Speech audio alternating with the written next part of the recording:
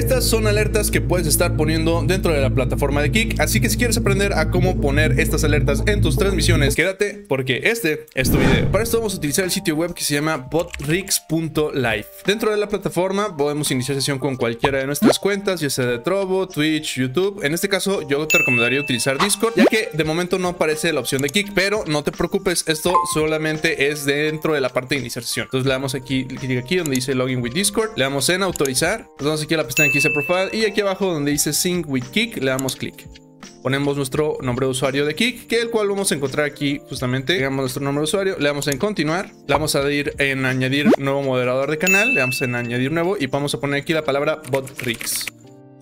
Lo marcamos, le damos en añadir, listo. Luego aquí vamos a copiar este comando de aquí y vamos a darle clic a este link que nos aparece de esta forma. Pegamos el comando aquí y le damos en donde dice chat.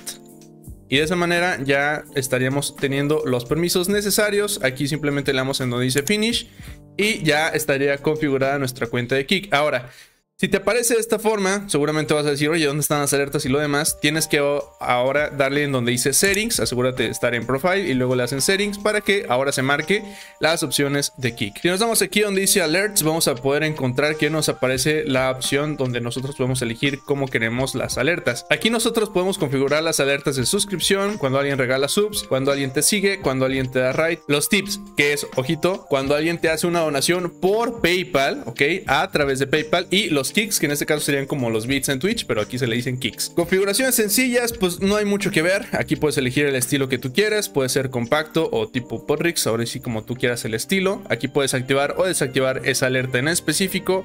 Aquí puedes decidir cómo quieres que se muestre la alerta, si quieres que se vea la imagen arriba y el texto abajo, la imagen a la izquierda y el texto al lado, o nada más el texto encima de la imagen. Puedes aquí mantener la duración que quieres de la alerta, la animación que quieras que sea de la alerta, que hay bastantes que puedes elegir. Viene ya con una imagen y un sonido por defecto, pero en caso de que no te parezcan, tú puedes subirlo dándole clic a esta flechita. En caso voy a elegir um, este de aquí, le damos en abrir.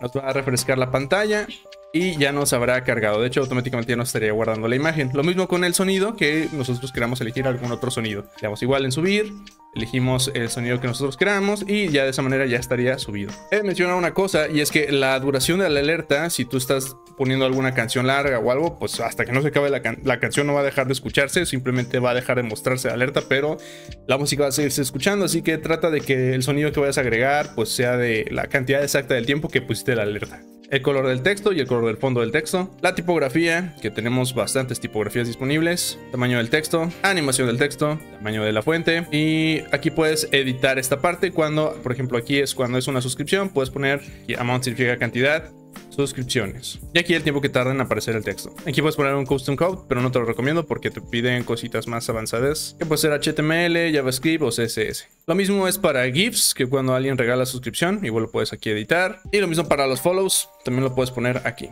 En realidad no hay mucha diferencia entre estas, entonces una vez ya hayas configurado todo, le das aquí donde dice Save Settings y le das a este botón que dice Copy, para que podamos copiar esta URL. Luego nos vamos a nuestro OBS, le vamos a agregar una nueva fuente, vamos a poner alertas de Kik, vamos en aceptar Vamos a pegar aquí nuestra fuente de URL 800 por 600, le damos en aceptar y ahora sí vamos a probar la alerta. Le damos a clic ahora a donde dice eh, uno de los botones para probar, vamos a probar la de followers. Y ahí está nuestra alerta ya creada. Podemos utilizar este botoncito rojo para poder acomodarla, hacerla más grande o más chica. Y ya de esa manera nosotros tenemos nuestra alerta lista. Consejo que te puedo dar, asegúrate primero que la fuente de las alertas esté arriba de las demás fuentes. O sea, si tú la quieres incluir en alguna otra escena, le das aquí el botón de agregar, navegador, y en lugar de una crear nuevo, eliges añadir existentes y eliges la que ya creaste, ¿no? Espero que este video te haya interesado bastante. Te dejo el link en la descripción y si lo utilizas vas a obtener 20 centavos de dólar por parte de la plataforma de Bitrix, o al menos es lo que aparece aquí. Tienen un sistema de referidos que, ojo, esto apenas me acabo de enterar hace nada y por el simple hecho de compartir tu enlace que lo encuentras aquí en la sección de referrals, cuando alguien se registre dentro de la plataforma y haya empezado su primer directo, tú y tus referidos van a obtener 20 centavos de dólar. El dinero te va a aparecer aquí en la parte superior derecha, en donde dice balance, y seguramente te va a aparecer aquí un botón para retirar. Eh, sinceramente no lo sé todavía, pero pues igual a confirmarlo si utilizas el enlace que te dejo en la descripción. Eso sería todo por hoy. Que tengas un excelente día, que la fuerza te acompañe y nos vemos en el siguiente video.